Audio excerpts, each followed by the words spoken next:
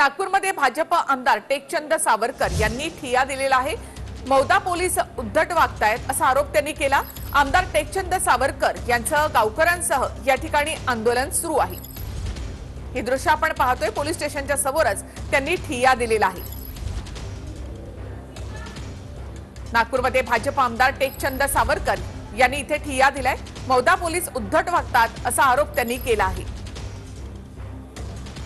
तर आमदार तेजचंद सावरकर गावकरांसह या ठिकाणी ठिय्या देऊन बसले. पोलीस स्टेशनच्या बाहेरच त्यांनी हा ठिय्या दिलाय. जोपर्यंत आपलं म्हणणं ऐकून घेतलं जात नाही तोपर्यंत उठणार नाही असा इशाराही त्यांनी दिला. सावरकर यांनी गावकऱ्यांसह या ठिकाणी हे ठिय्या आंदोलन सुरू केलंय. आणि आता पुन्हा